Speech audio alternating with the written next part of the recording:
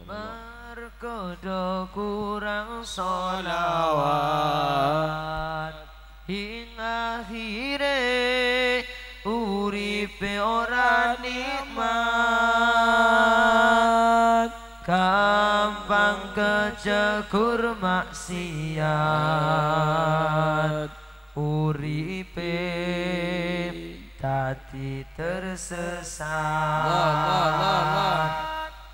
sing tak jaluk ning kancaku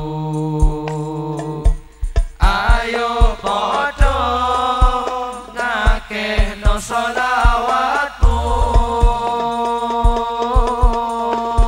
Supaya tentrem atimu. Selamat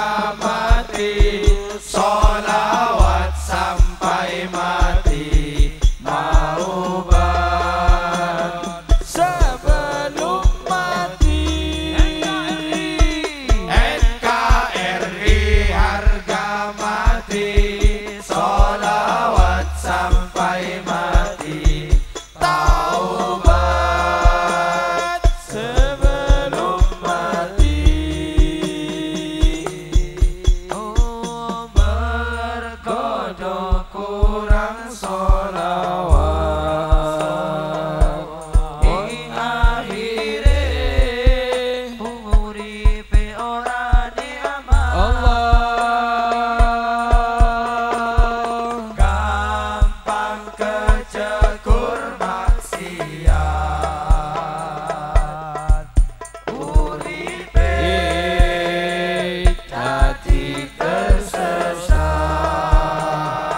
kita Rasulullah angkat tangannya.